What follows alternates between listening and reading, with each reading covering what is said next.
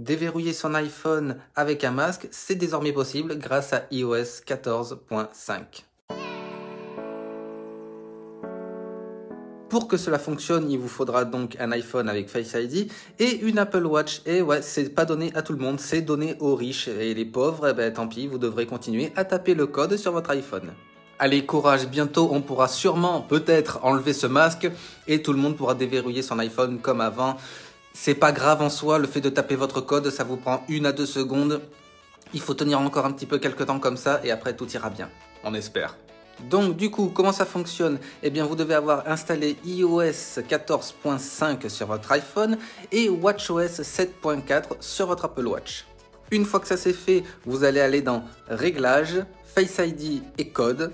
Voilà, vous allez rentrer votre mot de passe, vous allez descendre un petit peu et vous allez avoir une option qui est maintenant déverrouillée avec son Apple Watch vous activez l'option et voilà c'est bon c'est réglé et chose à savoir aussi il faut que votre Apple Watch possède un code de verrouillage sinon ça marche pas.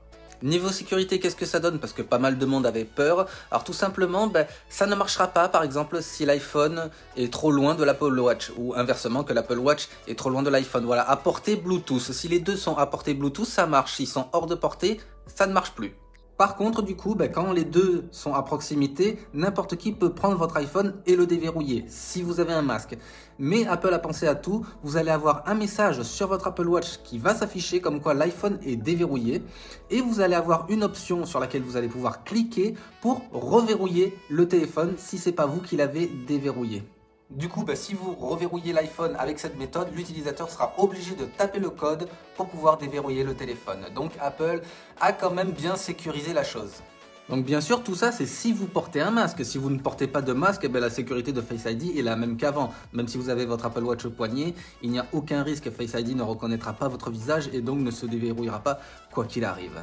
Si jamais vous avez des questions, n'hésitez pas à les mettre en commentaire, je me ferai un plaisir d'y répondre. N'hésitez pas à mettre un petit pouce bleu, à vous abonner pour revoir ma super tête de beau gosse. Et on se retrouve très vite dans une super vidéo. Allez, salut